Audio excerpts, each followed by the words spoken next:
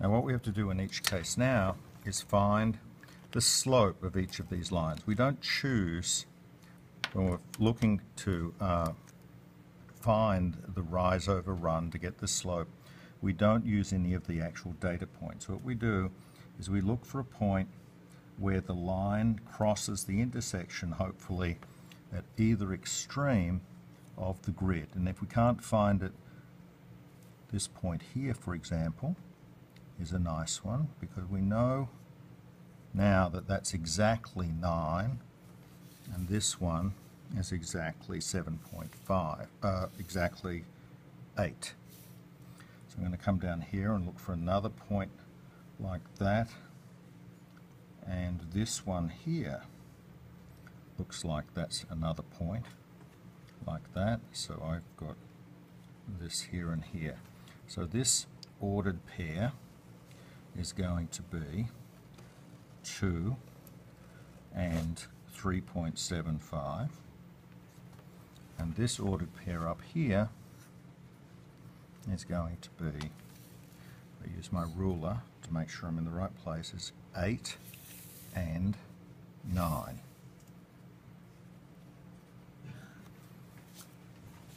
I'm going to put the um, ordered pairs in for the other two lines as well. So in the case of this one, it looks like we have a nice intersection point here, crossing the grid of my graph paper, and we have another one just here. So this data point up here is 8.5. Notice how I use a ruler because your eyes can wander. 8.5 and this one is 9.75 and this one down here is 0.75 and 3.75 I'm now going to look at the upper worst line of best fit. Got a good intersection point there. And I'm going to look one for one down low. This one looks pretty good. So, again, I use my ruler. That's 1.25.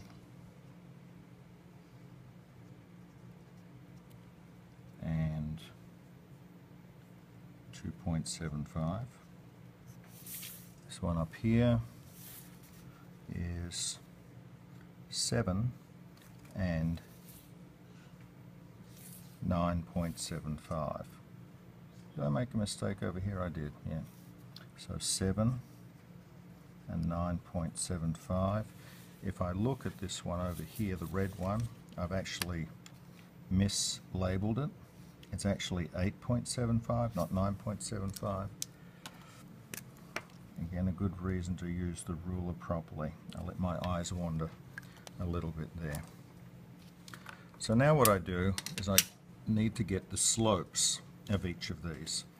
So I'm going to do a, a little table over here, get everything in order, and I'm going to have the, um, I'll use color coding in a second and we'll call this our um, time, seconds, and our distance in meters. And for the, um, let's see, we've got the um, start over here, that would be the um, first and the last. So we're talking about 0.75 3.75. We're talking about um, 8.5 and 8.75. The green one, our first and our last. In seconds we've got uh, 2 and 3.75, 8 and 9 and first and last. I'm leaving space here because I'm planning to do some calculations on the page and I don't want to have um, the numbers all over the place, so I leave myself a little bit of space to do this properly. So we've got 1.25 and 2.75 and 7 and 9.75 there. So in order to get the difference, because really if I want to find a slope, I need to say it's rise over run, which is going to be always the last minus the first of the vertical axis divided by the last minus the first of the horizontal. So in this case, I'm going to look here, and I've got, I'll put my delta in here, which means the change. The last minus the first is 6. The last minus the first here is 5.25. Delta here is 8.5 minus 0.75, which is um, 6.25. And this one here is 8.75 minus 3.75, which is 5.0.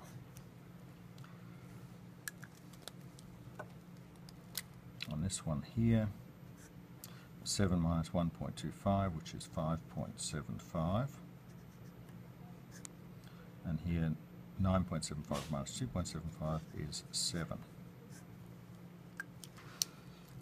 So we've got this, we now want to calculate the slope. The slope is going to be delta x over delta t, which in this case is 5 meters divided by 6.25 seconds the slope in this case is delta x over delta t, which is um, 5.25 meters over 6 seconds. And the slope in this case here is um, delta x over delta t, equals 7 meters over 5.75. I'm going to quickly do a calculation for this. We've got um, 5 divided by 6.25. Oh, 6 point. Oh, no, it's uh, 5 divided by 6.25, which is 0.8.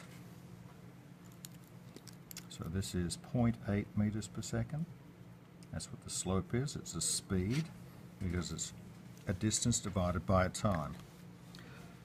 This one here is 5.25 divided by 6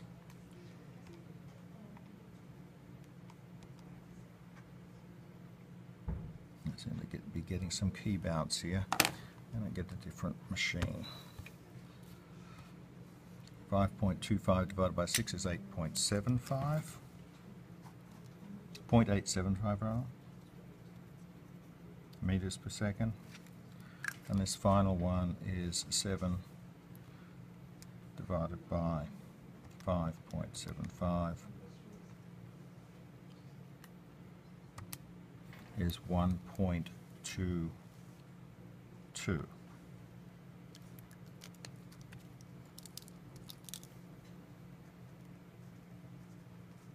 meters per second. Now what I want to do, in order to be quoting an uncertainty, I look at these two lines and I say, which one of these two worst lines of best fit actually has the largest deviation from our line of best fit.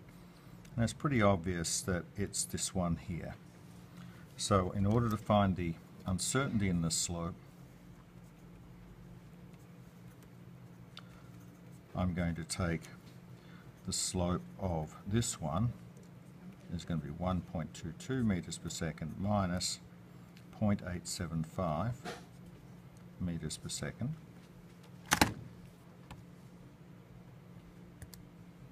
Minus uh, 0.875 is 0.34 meters per second, which is a pretty big error when the median is 0.875.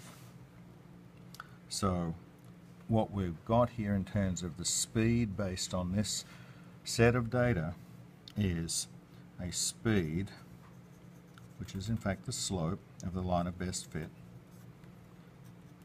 equal to 8.875 plus or minus 0.34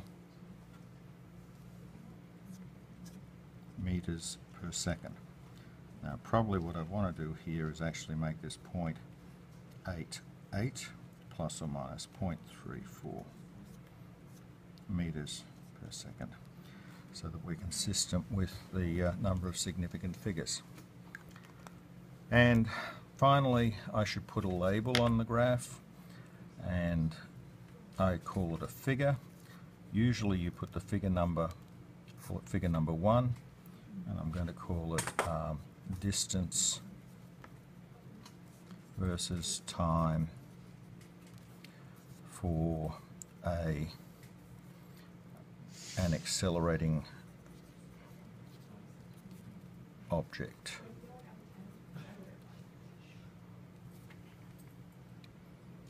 But is it accelerating? Not necessarily. We'll have to find that out another time.